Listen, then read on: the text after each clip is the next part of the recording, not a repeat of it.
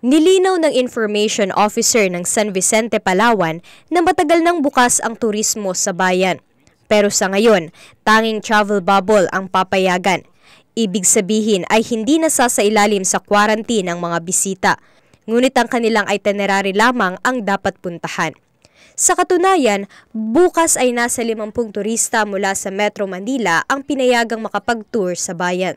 Sinisiguro naman umano ng LGU na hindi nito maaapektuhan ang patuloy na pagbaba ng COVID-19 sa bayan. Pag tourist kayo rito, kailangan naka-advance yung uh, itineraries ninyo. Hindi pwede yung gala-gala or biglang magliko o sa ibang mga destinasyon. Kumbaga kung ano, ano lang yung nakalagay sa ano niya, itinerary, yun lang ang dapat nilang puntahan. Samantala muling binuksan ang turismo sa bayan ng El Nido nitong Hulyo 7.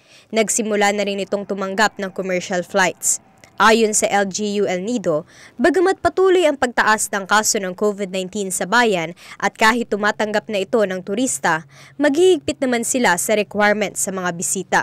Kailangan din umanong istriktong masunod ang itinerary ng mga turista. Pinag-aralan po ito ng maigi, naka-travel, naka travel bubble style pa rin po tayo. Kaya maigi po na properly coordinated siya kasi minomonitor po sila.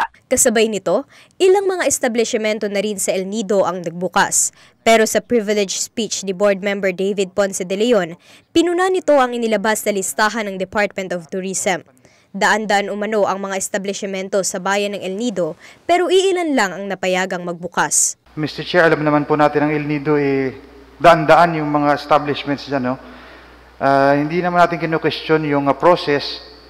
But uh, with that, Mr. Chair, we'd like to invite them and uh, ask them the process kung paano and uh, as a policy making uh, policy making body maybe we can uh, do something to expedite the process. Kaya nakatakdang ipatawag sa susunod na sesyon ng Sangguniang Panlalawigan ang DOT kasama si Provincial Tourism Officer Maribel Bunyi para malaman ang proseso na ginagawa ng DOT sa pag-accredit ng mga establishmento.